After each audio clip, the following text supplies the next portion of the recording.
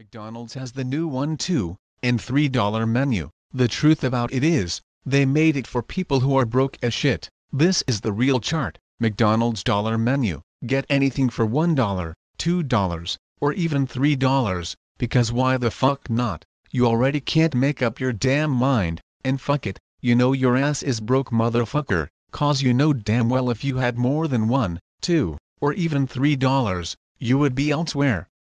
Are you broke ass fuck? Well no worries, try the new $1 menu. What's that? You're just regular broke as in, yeah I have money, but it's all in quarters. Try the $2 menu. What else did I hear? You're kind of broke ass fuck. Well guess what bitch, we now have the $3 menu.